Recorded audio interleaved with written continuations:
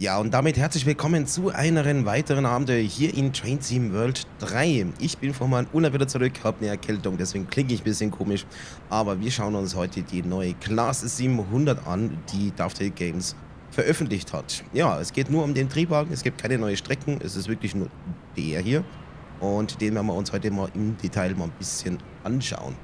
Ja, gebaut von Siemens, gehört zur Desiro City Familie und ist bei Thameslink, so wie jetzt im Original, auch im Einsatz.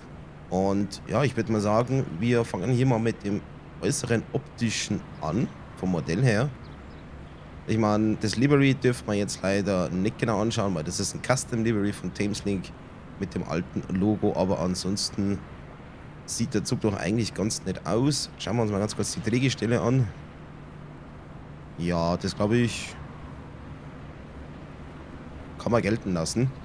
Ich würde sagen, wir schauen uns mal den Zug von innen an. Den Führerstand schauen wir dann gleich zum Schluss an. Da sitzen wir dann eh die ganze Zeit drin. Ja, okay, Interieur. Hat man wenigstens gut Platz. Nicht so wie in Südafrika im Gautrain, wo ich gerade vor kurzem gefahren bin. Und das ist eine Vierer-Konfiguration mit Tisch. Wir haben funktionierende Anzeigen hier drin. Das ist eigentlich nur ganz nett. Die Frage ist, ob das auch bei anderen Strecken entsprechend dynamisch angepasst wird. Das müsste man ausprobieren. Habe ich jetzt noch nicht. Okay, Platz für Fahrräder und Co. Die erste Toilette, die wir nicht nutzen können. This train terminates at Rainham. Auch das kann man soweit gut lesen. Ja, passt und komplett durchgängig bis nach hinten. Ja, ich glaube, da haben wir das erstmal soweit. Ja, ich möchte weiter hier fahren. Okay. Noch eine Toilette in einer anderen Konfiguration. Oh, scheiße, warte mal. Warum sind jetzt die Türen zu? Oh. Das Jahr war mit Zugdienst aufgeben. Ja, egal. Dann fährt der Zug einfach erstmal. Aber was soll's, können wir uns den noch ein bisschen genauer anschauen. Beziehungsweise wäre es noch interessant, ob wir hier Ansagen hier drin haben. Werden wir dann gleich bei der nächsten Station ansehen. Ja, jetzt sehr spannend hier. Ja, die Class 700 gibt es in zwei Varianten. Wir haben hier die 700-0, sprich das sind acht Einheiten. Dann gibt es noch die 700-1. Das wären dann 12 Einheiten.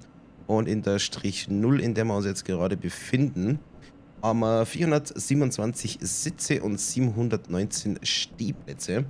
Und die Class 700 hat auf der Thames-Link-Strecke die Class 319, 377 und 387 ersetzt.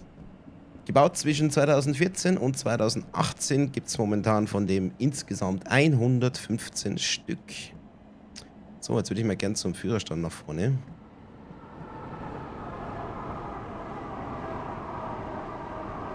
Es ist relativ ruhig hier drin. Aber der Triebwagen ist auch in der Realität nicht sehr laut. Also ich habe es in London schon gesehen. Oha, die Neigung ist ja mal nicht ohne. This is Stone Crossing. Keine Ansage.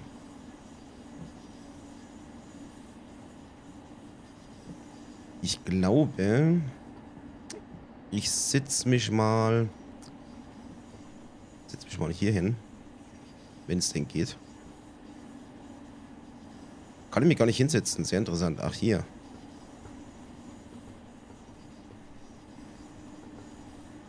Stone Crossing next. Green Hit on Svenscombe. Na komm, mach doch eine Ansage. Okay, das war jetzt schräg. Da haben wir einen kurzen Sound. Okay, drin, wenn man die Tür aufmacht. Ah, nee, nee, nee. Guten Tag. Darf ich dann später auch wieder fahren? Vielleicht ab der nächsten Station. Ja, hier Führerstand, relativ modern. Haben. Warum ist die Tür da offen? Ich mach die mal zu, ne? Und wir haben keine Ansagen. Ist jetzt auch der Buggy weg? Ja, das war wegen der Tür, die da offen gewesen ist. Ja, der Zug kann ETCS Level 2. Wir haben auch ein ATO-System, sprich er kann von komplett selber fahren. Ist aber hier leider nicht umgesetzt. Bin ich irgendwie schade. Aber in TS Classic, glaube ich, kann man mit ATO fahren.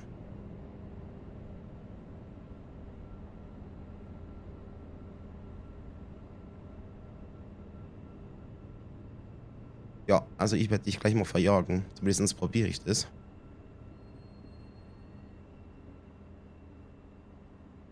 Ja, die Leute sind wieder gut drauf. So. Ähm, ja, ich möchte mich hier reinsetzen. Sehr gut. Richtungswender bitte neu nach vorne. Das ist drin. Lichter sind auf Tageslicht. Jo. Ach ja, wir haben hier zwei Systeme, oder theoretisch zwei Systeme. Wir haben einerseits a Third Rail, mit dem wir jetzt gerade unterwegs sind. Und wir könnten auch mit Oberleitung fahren, wenn wir wollten. Achso, was ich jetzt gerne noch hätte ist... Bitte einmal unisolieren. Ansonsten irgendwas isoliert.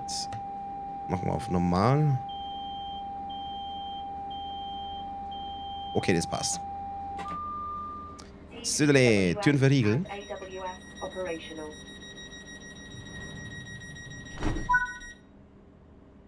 Los geht's. Ah, warum nicht? Was gefällt dir jetzt noch nicht? Türen sind zu.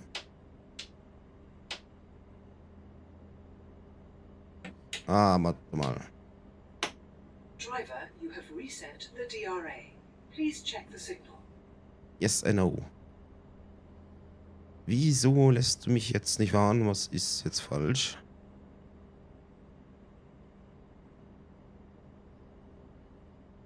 Sie den Fehler jetzt gerade nicht. Warte mal, nochmal kurz zurücksetzen. TPWS and AWS operational. Ah, was ist jetzt los? Türen noch alle zu?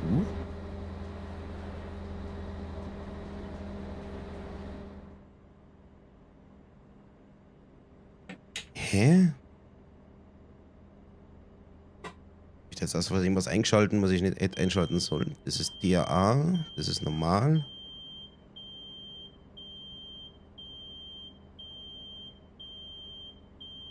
Nö. Keine Ahnung, was er jetzt für ein Problem hat.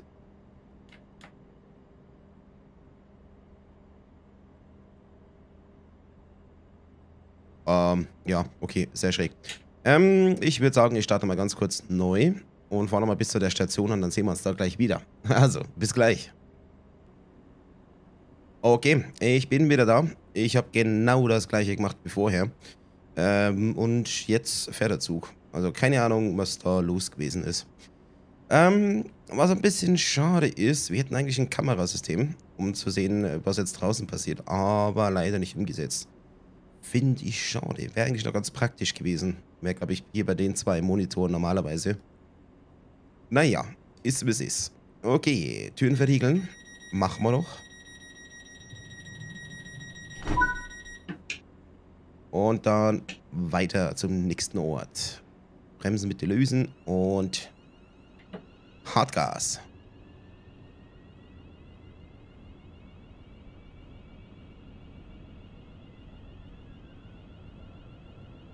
Ich mag irgendwie das Pfeifen, wenn der Zug hier losfährt. Das hat irgendwie was.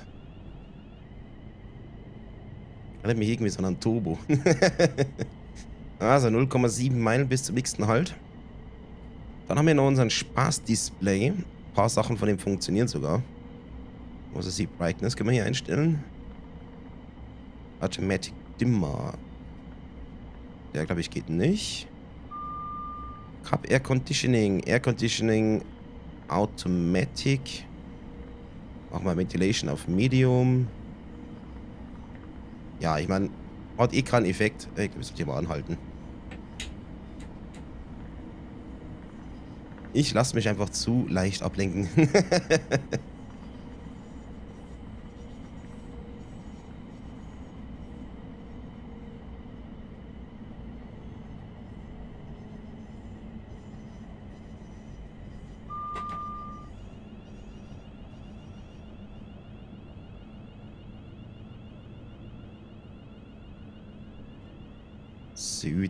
Schauen wir, dass wir die Punktlandung hier hinkriegen.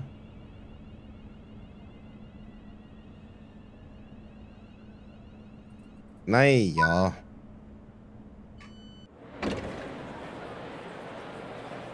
Oh, ich sehe gerade, ich habe die Lichter vergessen. so, Tageslicht. Passt. Also, was haben wir denn hier noch so? Ähm, gehen wir hier mal wieder raus. Ja, Fotomodus geht nicht. Train Config. Howling Mode. Das tue ich jetzt mal nicht anklicken. Slow Speed Control. Könnte man ein- und ausschalten. Das lassen wir mal aus. Abkuppeln wir mal nicht. Confirm Configuration und Close. Ansonsten ECO-Info geht nicht. Options geht auch nicht. Event View geht auch nicht. Was haben wir hier oben? Ah, okay. Disable Regulative Brake. Enable Automatic Brake Test. Geht nicht. Snow Brake Mode könnte man einschalten. So, Türen sollen wir wieder zumachen. Was haben wir dann hier noch? Das geht nicht. Das auch nicht. So, wir fahren erstmal wieder los.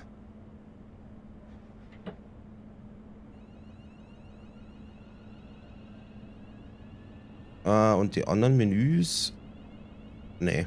Also es ist tatsächlich nur das hier und das hier. Was wir hier oben machen können. Okay, also ein bisschen was am Infodisplay funktioniert.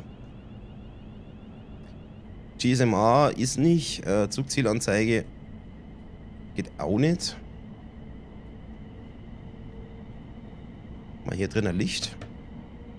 Yes. Uh. Das mit der Spiegelung sieht gar nicht mal so schlecht aus.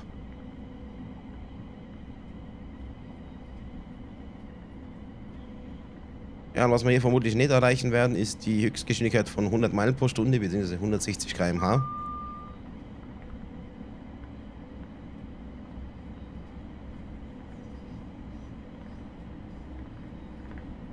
Aber in der Beschleunigung ist es jetzt nicht gerade der schnellste Triebwagen.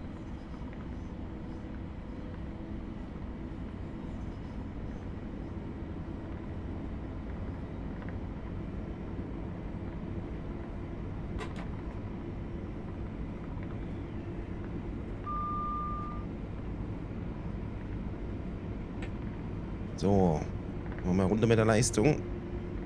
Svenscombe Gleis 2 um 37.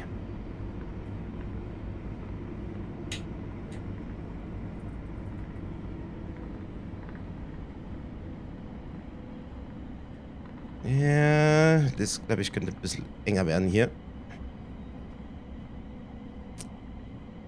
Jo, da bin ich zu schnell rein. ja, das glaube ich endet nicht gut. Alte Marke überschritten. Bleiben wir halt bei der 12 stehen. so, aufmachen. Ich glaube, ich hätte gern mal die Anzeige hier. Ansonsten Spielzeuge, Windschutzscheibe, Tawal. Okay. Langsam. Und schnell. Gut, machen wir wieder aus, brauchen wir auch nicht. Das ist ein Backup.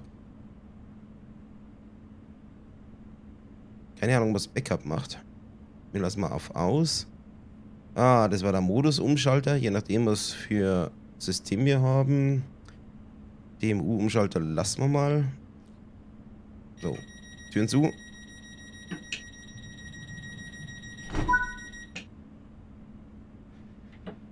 Norfleet Gleis 2. Ah, ich würde so gerne mit dem ATU-System mal fahren. Sanden. Ja, okay. Warnblinker, funktionieren die? Ja, die funktionieren. Widerstand vorhalten. Was machst du denn damit?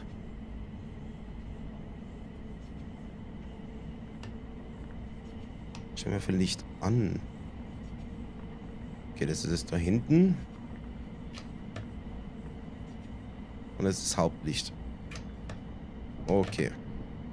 Äh, wir sollten hier anhalten.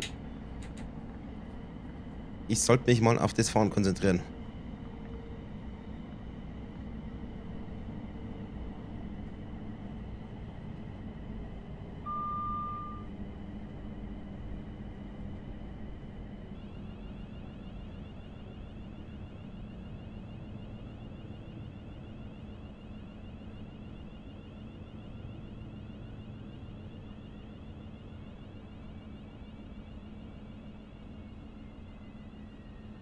Wunderbar. So, Tür auf. Sind ja sehr gut in der Zeit. Gefällt mir. Ja, ansonsten Türsteuerung, Sicherungen, nochmal Türsteuerung. Das war's. Das Einzige, was wir hier noch haben, ist die Sonnenblende. Ja, bleib so oben. Dankeschön. Ja gut, dann glaube ich, haben wir erstmal alles gesehen, was man so sehen kann. Ich glaube, ich hätte gern diese Kameraansicht hier. Beziehungsweise, ich möchte mal gerne mal das... Ähm... Wo ist unser Zug? Ach, da ist unser Zug. Okay, ich möchte mal ganz kurz das Anfahren anhören von außen. Bitte einmal verriegeln.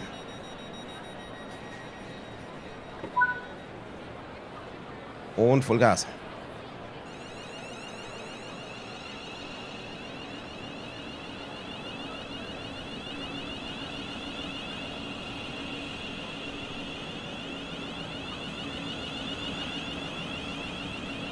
Ja, doch. Klingt ungefähr so, wie es in Erinnerung hat,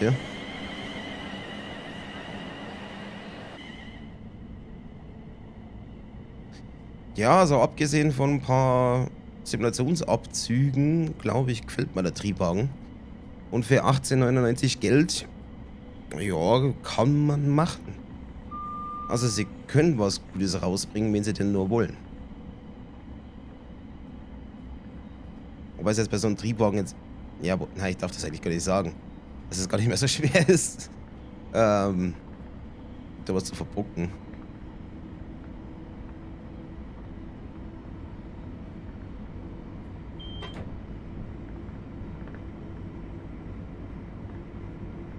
Ich finde es nur schade, dass sie die 12er Konfiguration nicht mit dabei haben.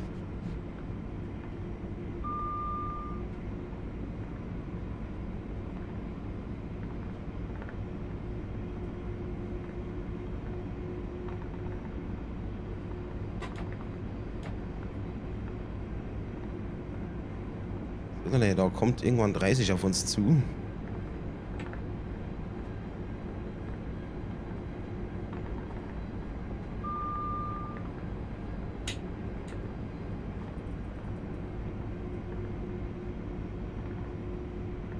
Yeah. Schon sieben Meilen gefahren. Wahnsinnsstrecke.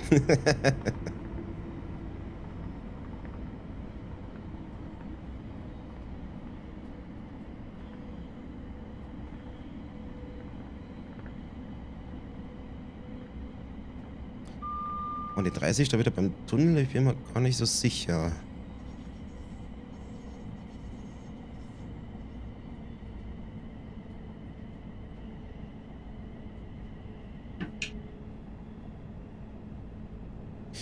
Ah, interessant. Der Wechsel zwischen Tractive Effort und Braking Effort in der linken Anzeige.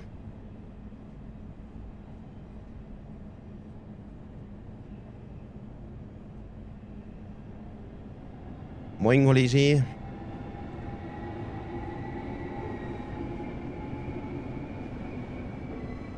Also eins habe ich ja nicht vermisst. Und zwar ist es die Hitze jetzt hier momentan. Es war in Südafrika viel angenehmer, so bei angenehmen 20 bis 25 Grad. Und daheim heißt es wieder schwitzen.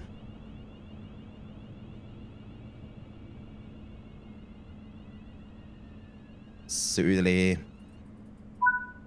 Alles klar, dann bitte Türen aufmachen. Ah, ich brauche ja noch ein Thumbnail. Hm, mal schauen. Machen wir da ein Foto mal.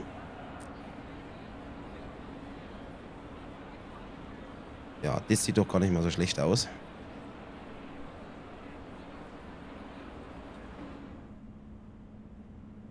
So, wie schauen wir hier drin aus?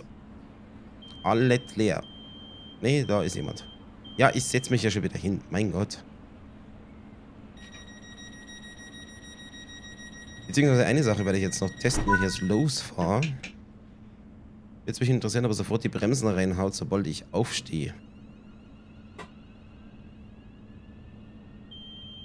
Nee, macht er nicht. Alarm fängt erstmal an. Aber ich gehe mal davon aus, dass wenn ich jetzt länger weg bin, dann wird er eine Notbremsung machen.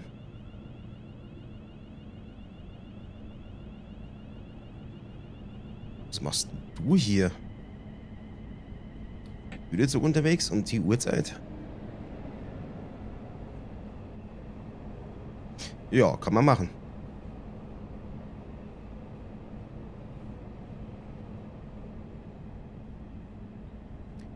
So, Relais, Vollgas.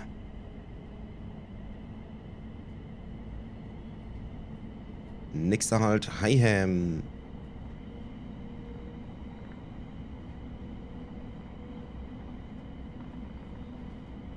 Ah, bis wohin fahren wir? Ist es Highham? Ja, ja.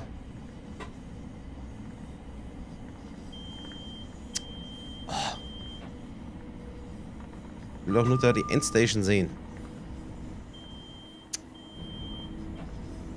Gut, ich könnte auch anders nachsehen, aber ich wollte es eigentlich von der Anzeige hier hinten haben.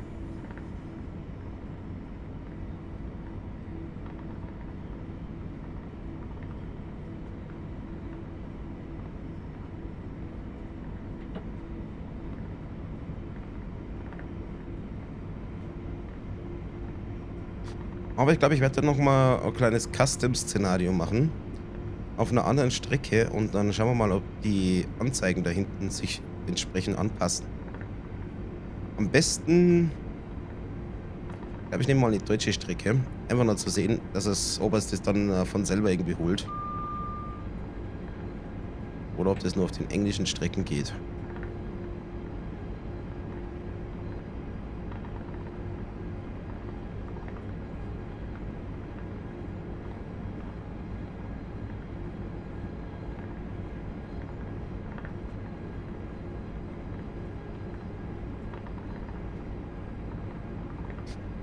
Ist ein komisches Begleitgeräusch hier beim Fahren.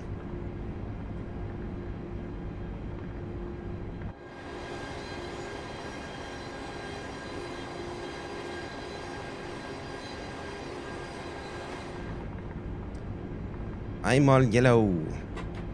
Why?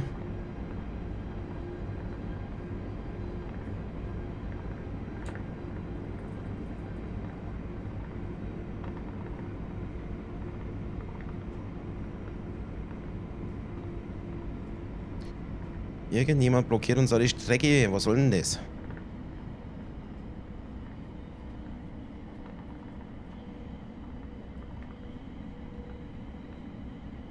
Da kommt der nächste Güterzug.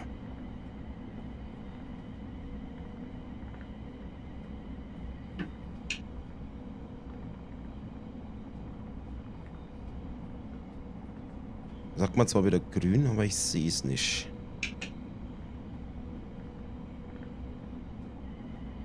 Ja gut, gehen wir halt mal wieder Vollgas. Moin, Kollege.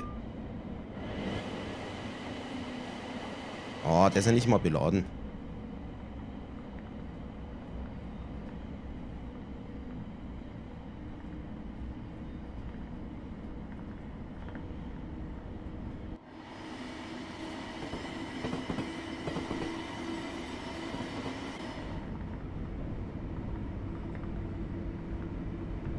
Hä? Wo war jetzt das Signal? Okay, ich habe nicht aufgepasst.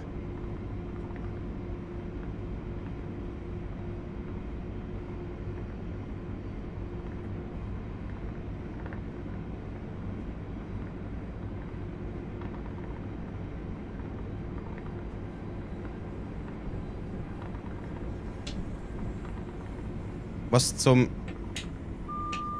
Was soll das jetzt? Hä?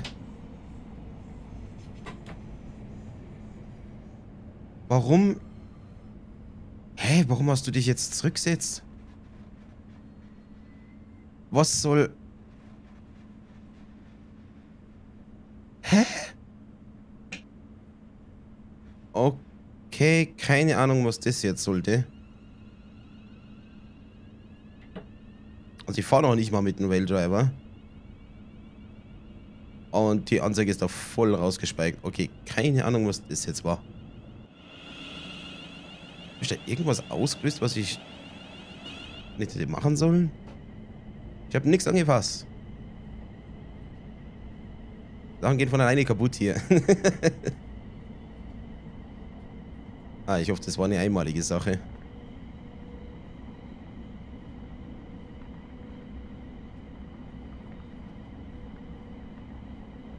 Südle, da vorne schon eine Plattform. Ah, Mann, wir sind zu spät.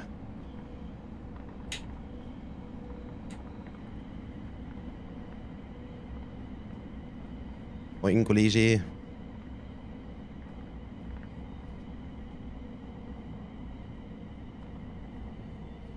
So schön wie weiß auch ist, aber es ist eigentlich eine echt schlechte Farbe. Wegen Schmutz und Kuh.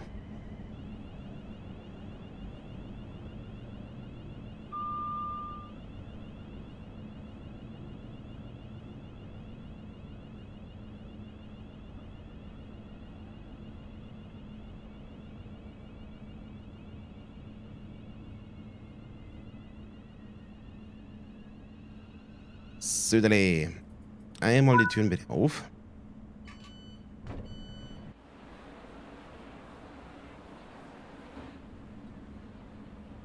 Ja, cool. Sogar einmal so angehalten, dass ich den Monitor theoretisch sehen würde. Aber ich habe eigentlich meine eigenen, die nicht funktionieren. Immer diese Sparmaßnahmen.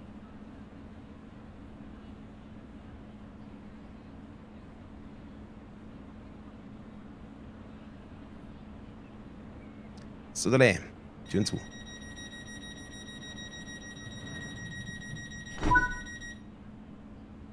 So, ähm, was wir jetzt mal machen werden, ich werde jetzt mal kurz ein Custom-Szenario machen und mal schauen, ob dann die Anzeigen sich entsprechend anpassen oder ob das nur bei bestimmten Strecken geht.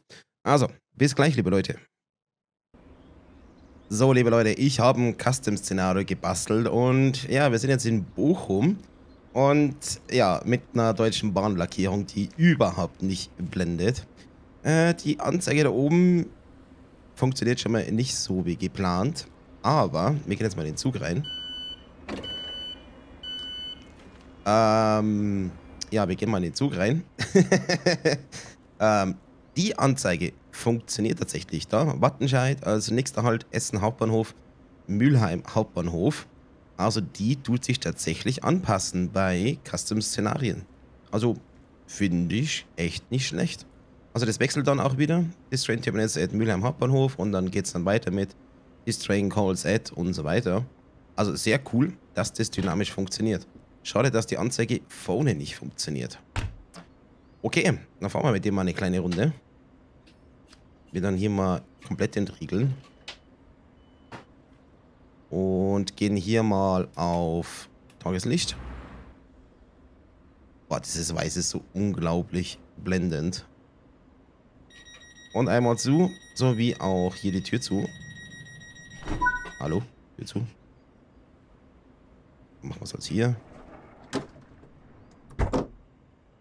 Okay, Abmarsch.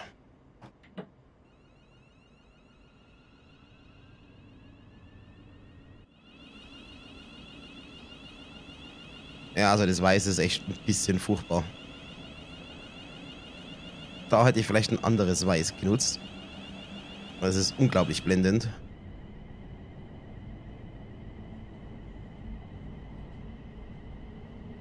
Sicherungssysteme lasse ich jetzt mal aus, weil es ist einfach nur zum mal kurz ein bisschen die Experience haben. Ah, und wir können da nochmal 160 fahren.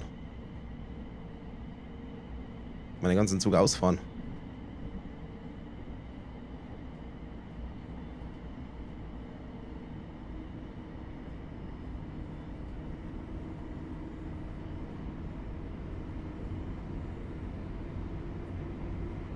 Wäre eigentlich noch witzig, wenn der Tacho umschalten würde von den Einheiten her.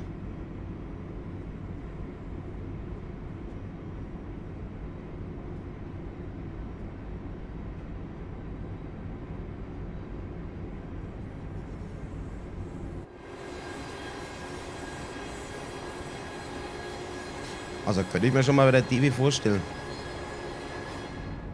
Ich glaube, so viel arbeiten wir also nicht, dass man den dann in Deutschland umfahren kann.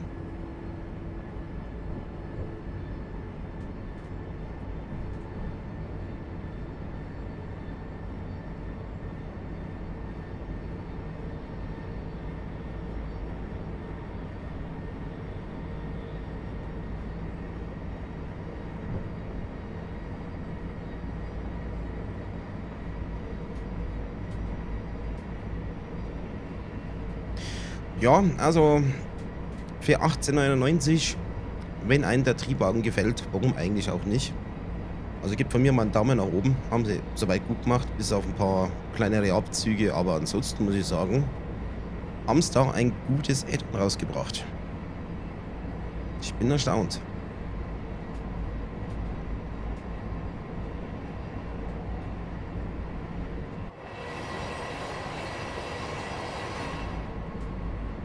Das nächste Mal hole ich mir da ein anderes Livery. Ich habe übrigens auch gesehen, äh, rein von der Konfiguration her, gibt es den auch in doppelter Ausführung. Sprich 2x8 Wagen. Aber halt nicht in der 12er Variante. Schade.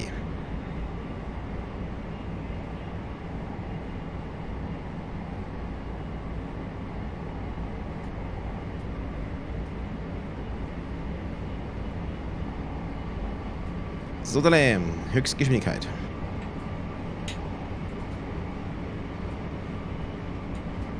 Wird das Ding nur noch anhalten.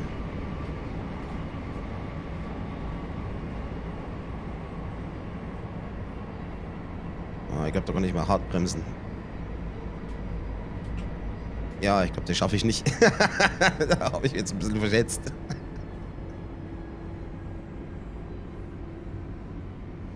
Jo, da werden wir voll drüber schießen.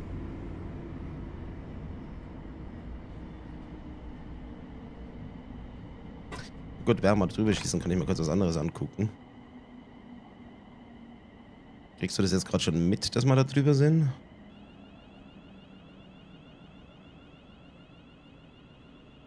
Na komm. Schalt um. Das. Oh. Er hat's mitkriegt. Okay. So, wie viel drüber sind wir denn? Äh, ja, ein bisschen. ja, okay. Es war jetzt eh primär eher nur ein Test für das da, ob das funktioniert. Aber ja, mir gefällt der Triebwagen.